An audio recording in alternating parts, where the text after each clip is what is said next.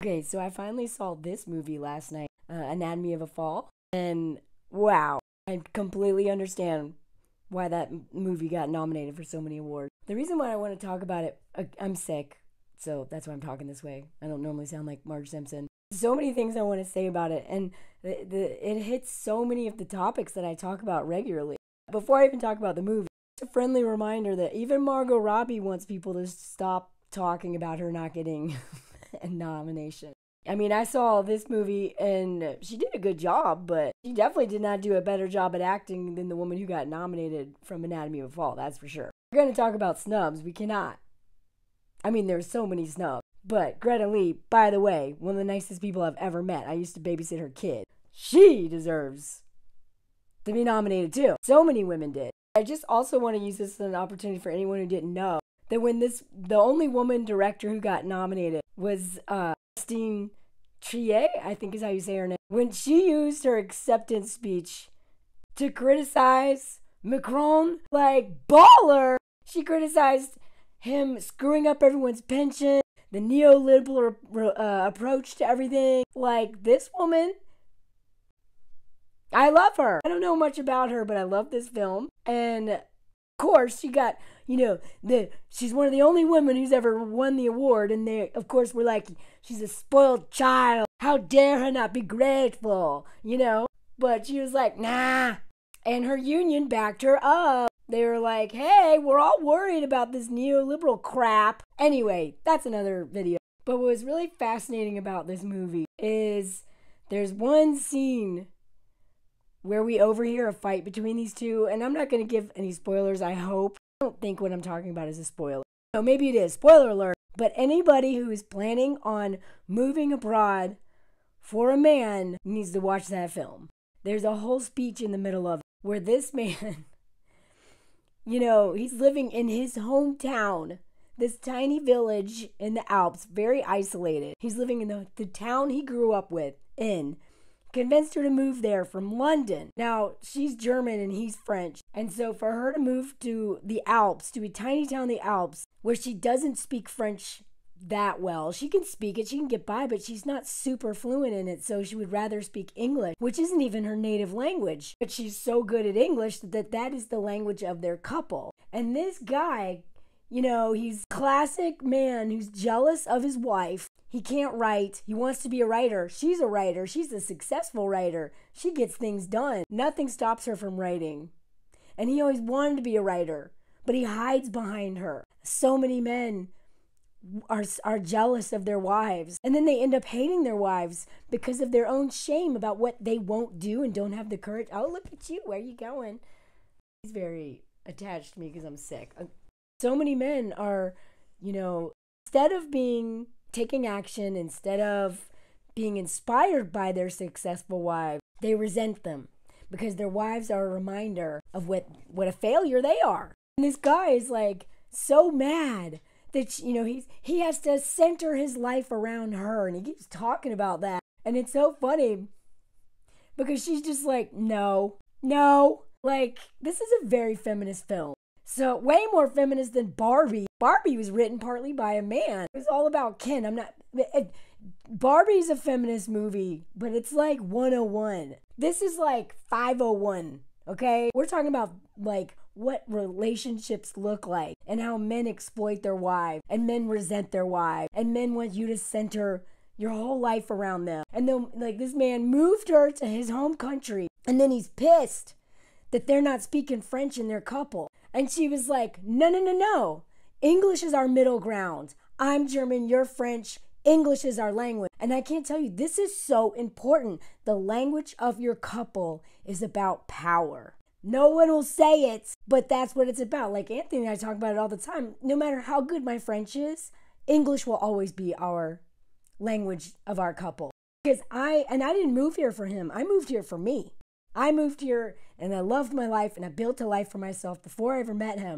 But it, it, let's say I had moved here for him. You better believe we would never speak anything other than English in, in our home because I'm the one who's far away from my family, my culture, my language, my history, my all out my past. I haven't been home in almost uh, it'll be three years soon, and I can't afford to go home. It's so expensive to go home. So I don't know if I'll go home in the next two, three years. I mean, you know, if I'm rich, I can go home all the time, but I don't even believe in all, you know, the carbon footprint of it all. So we are in his country. You better believe English is our language. That is how I feel at home. And his English is perfect. So, like, we should practice French more. You know, people like give him so much crap that he doesn't speak enough French with me to, so that mine improves. But, you know, God, just the language part of that whole conversation alone, I was like, good for her. Like, Anthony and I were like, oh my God, this is this is so on. This is exactly what I talk about all the time. She is literally fighting for her life, her innocence in court, and it's all in French. Do you know how stressful it is go to a hospital, talk to lawyers, talk to police, and you're in a language that you're not really confident in? When my husband went to the hospital twice last year, the ER twice within a month, yeah, that's when I realized, oh my God, what have I done? Like, not in a regret kind of way, but I was like, holy crap, I'm so vulnerable. I'm so vulnerable because the minute I was in a crisis, I couldn't remember any French. And so I'm dependent on his his mom and his dad to communicate, but they don't speak any English. Like this woman is literally like on trial for her life and she's having to do it in French. Like, oh my God, the stress of that. And she's in his town with his childhood friends and nobody's welcoming her. She's just like, you know, it's so hard to make friends in France. Once you have a friend in France, they're a friend for life, but they play this long game. They play the long game, and I like that. They approach friendships a lot of times the way we approach dating, and then the opposite with dating. They jump right into a dating situation. But if you want to be their friend, you have to just work, be patient, work slow. You know, after five years, I could say I have a handful of good French friends here. But that's five years. And I have lived in so many countries and I've traveled most of my life. I'm really good at making friends. But here, it's challenging. So imagine some woman who's, you know, moves to this little town in the mountains speaking a second language, which is English. And that's the language of their couple, and he's pissed. Why don't you speak my language? Like, this man, in my opinion, was having a crisis of his own self, his own identity, his own worth. And instead of dealing with it, he kept avoiding it. And every day he avoided himself, he blamed her and was resentful to her. And he seemed pissed that she would not center him. She wouldn't do it. And I love that for her. I mean, the story is tragic, but I, I loved her character and her acting was phenomenal. But one of the things, the biggest lessons, is that when they were on neutral territory in London, right? He's French, she's German. They're they're in London at, at the third city they were on equal ground. But once you go to these guys' hometowns, you go to their home country, a lot of times that is when they make that switch up. They turn into this other person, this entitled king baby. Not that maybe they weren't already one, but it seems like once he she was on his turf, and and, I hear this all the time.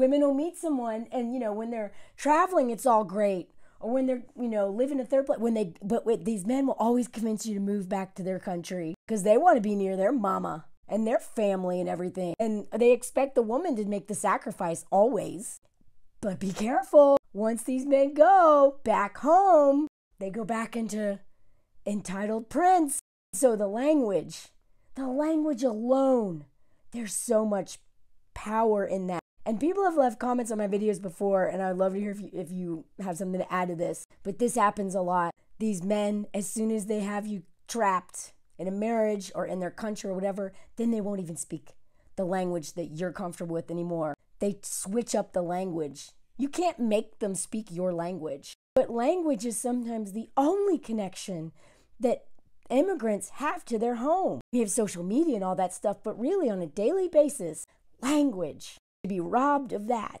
in your own home and not even have your children speak it so that those kids won't even be able to talk to their family when they go back to meet mom's side of the family. Like, I can't, the language thing alone, I loved this. This movie was really good. Uh, that woman was successful woman, knew her worth, stood her ground, and her husband couldn't handle her, and so he hated her for it. And speaking of language, the your partner, if you live in his country, he's going to be required to do a whole lot of mental load, emotional labor, whatever you want to call it, in terms of the language. Last night, when we rented this thing, because we're in France, they don't have subtitles in English, right? Because we're in France. Anyone in France watching the movie should surely know French. This movie is two and a half hours long. It took us almost six hours to watch this thing because Anthony. Anthony had to like translate almost the whole thing. And I'm like, maybe we should just buy it again on another pl- surely there's a way. But he was like, no, babe, I don't mind. Like he would watch the whole scene and then he paused and he go, okay.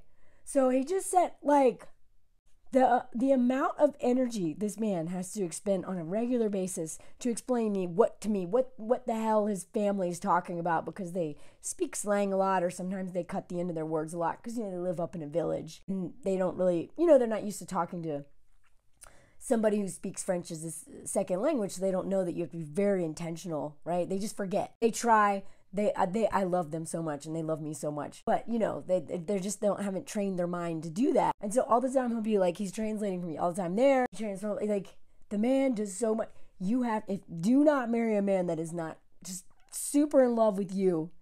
And if you're gonna move to his country, he's gonna have to do a lot of paperwork, translating, and all this stuff. And if you're with the wrong person, they could just ice you out by just refusing to translate because they don't want to because it's a lot of work. Like the language alone, I can't tell you that one factor. Not not even in considering the fact that if you have children, you can never leave that country without his permission, or it's kidnapping, so you are stuck in that country until that child is 18 years old because of the Hague, right? There's like they literally it's kidnapping. Like there's all like you're so screwed. You're so screwed if you move somewhere for a man and he ends up not being a great guy so screwed. Please, please don't ever just be like, oh my God, I'm going to marry a French guy. Ah, I just met him, but like, don't, don't do it. Watch this movie first, at least, because one person is going to be asked to sacrifice so much more than the other. And that is a fertile ground for resentment and power imbalances. And if this is not a safe man, and if he doesn't love the crap out of you, he will use it against you at every turn. I can't tell you how many women I see in the married to a Frenchman group. I'm like, whoa. It's horrifying. And they usually hate their in laws. Like, I love my in laws, but this seems to be a very unique experience. So please don't put yourself in this position without doing your research, taking your time, and making sure that you have all your ducks in order and have your own some way of having a passive income possibly or a savings account that he has to put money into or whatever but don't just move to another country for love don't do anything for love it's the dumbest thing women can do because it's usually not even love, it's limerence. Don't follow your heart. Don't follow your clat. Don't follow your even your brain. There's so many factors that I just want women to pay attention to before you make some huge commitment like this because it is not a, good, happy ending for more women than you would realize. It's a recipe for DV, coercive control, financial abuse, and all that stuff. And then you're trapped too.